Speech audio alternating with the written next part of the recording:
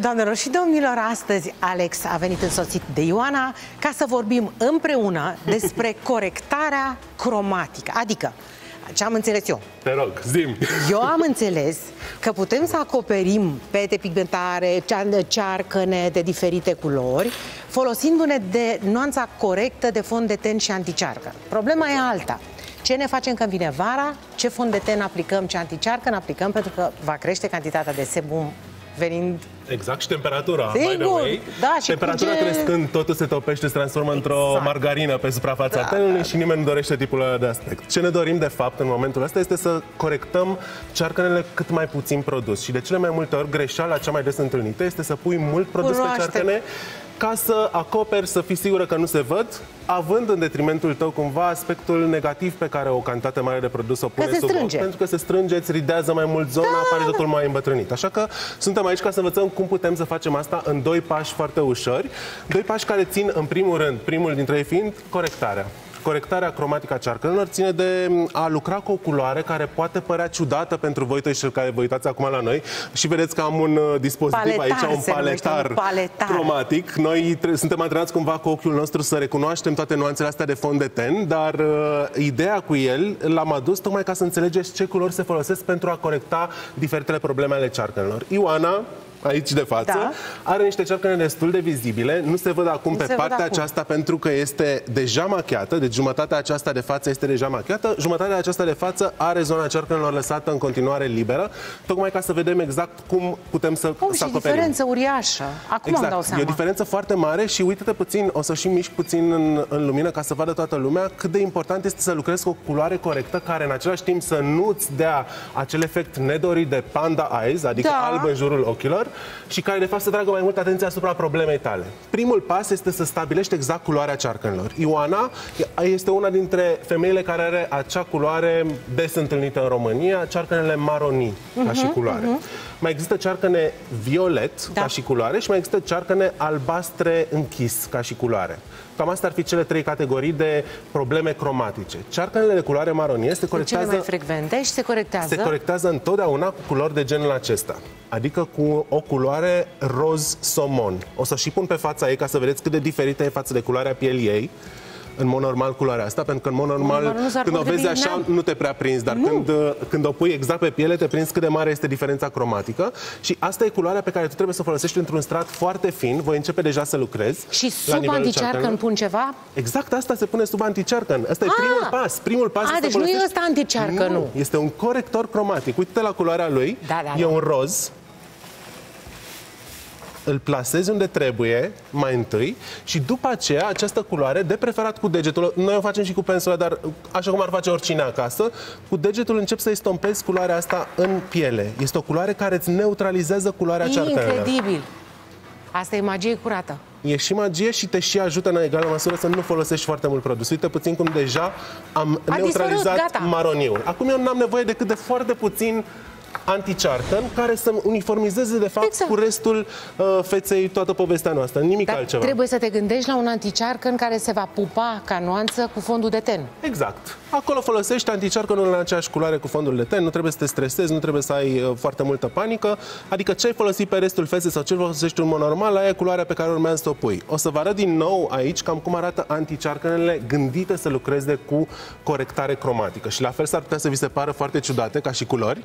Observați observați cam nuanțe de verde. De exemplu, nuanțele de verde sunt ideale pentru a reduce orice nuanțe de roșu ar da. avea tonul tău, ă, tenul tău. Și sunt multe persoane care se ard la soare, care dezvoltă dermatită și seboreice și alte probleme și atunci automat trebuie să ai o astfel de culoare ca să o poți corecta. Uh, ai nuanțe de roz, ca cea de aici, pe care o da, folosesc în cazul cearcănelor Ioanei. Da. Este tipul ăsta de culoare. Și roșu pentru ce? Și roșu portocaliu aici da. corectează cearcănele de nuanță albăstruie. Uh-huh. Acele cearcăne care poate sunt urma unei vânătăi și vorbim poate chiar de o situație destul de des întâlnită în ultimul timp. Sunt femeile care merg uh, de să-și foarte multe ori să-și facă botox, să-și facă tot felul de... Uh, și se întâmplă să rămână exact. mici, foarte mici vânătăi. Își facă mici uh, intervenții care pot să se transforme în acea coloratură mov sau coloratură gălbuie-verzuie da. pe care o au uh, problemele. Uite, acum lucrez cu anticearcănul în culoarea tenului ei, da. peste corector. Important când ați folosit un corector cromatic este ca anticearcănul vostru să fie tapotat, niciodată întins, pentru că altfel s-ar amesteca cu stratul dinainte. Deci în momentul ăsta nu avem voie decât să lucrăm cu un burețel cu care tapotăm produsul pe zona respectivă și uite cât de ușor acest produs se topește în pielea ei și nu ai nevoie de mult ca să corectezi zona respectivă. Stai așa, că eu, eu tot nu... Tot nu da, da, da, da, da. Văd pe măsură ce trec secundele că se topește. Și asta înseamnă să folosești un produs Potrivit. în cantitate mică, dar să fie produsul corect pentru nevoia pe care Ioana o are în momentul ăsta.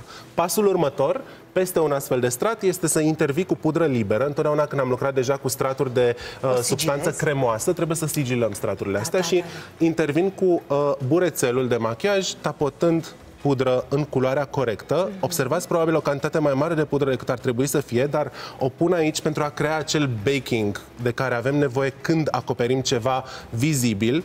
Este și cazul persoanelor care își acoperă tatuaje. Sunt multe fete care au tatuaje de sprâncene, de exemplu, pe care nu și le mai doresc. Și dacă își doresc să le acopere, să nu se mai vadă atât de puternic în baza lor de machiaj, ăștia sunt pașii corecți. Trebuie să neutralizezi culoarea da. tatuajului, da. trebuie să, să adaugi mai apoi culoarea corectă de anticearcăn și după aceea tapotezi tratezi ușor cu ajutorul unei pudre libere, privirea în sus, Ioana, zona respectivă.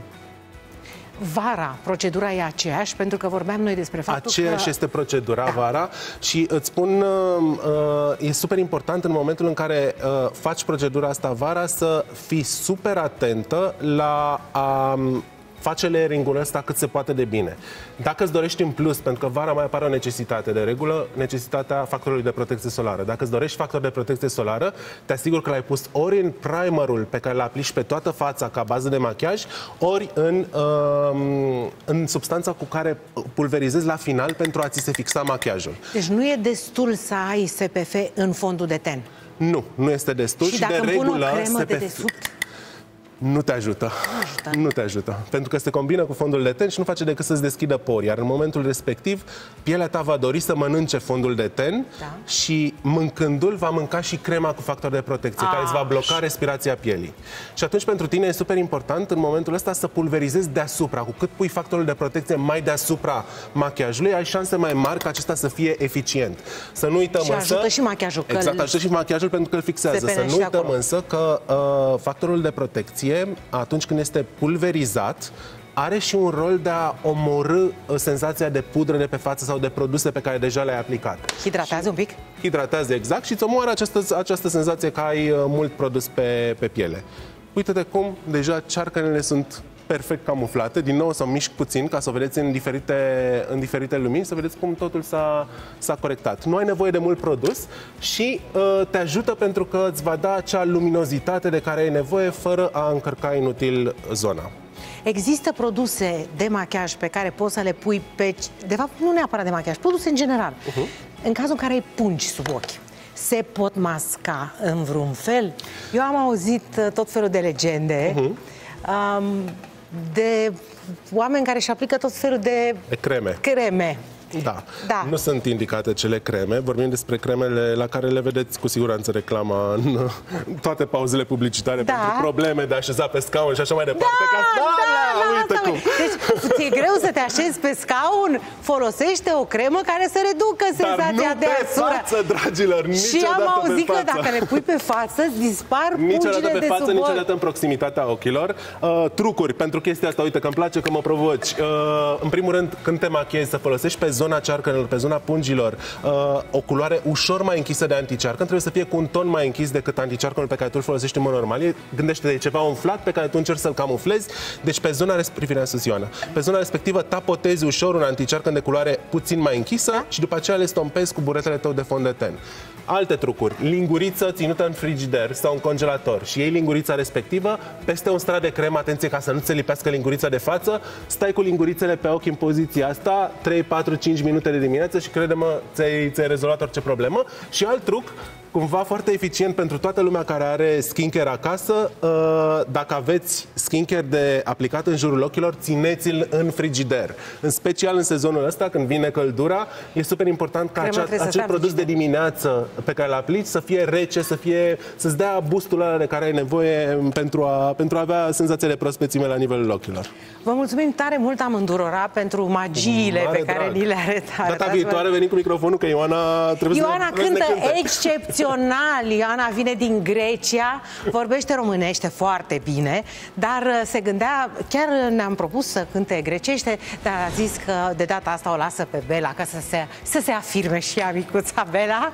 Mâncarea noastră vine din Filipine și uh, de data asta nu mai pot să fac nici măcar o glumă pentru că arată senzațional. Tot timpul face mâncare bună. Bela, eu doar glumesc și mă iau de ea pentru că nu prea apuc să mănânc atât de bună mâncarea. Dar astăzi avem, dacă te gândești așa în primă fază, orez cu ananas. Ar fi ceva foarte simplu. Nu, e ceva spectaculos, arată și într-un mare fel. Nu doar că miroase, dar e și foarte bun. Recunosc că am gustat un pic, Teo, să știi, și e senzație aici.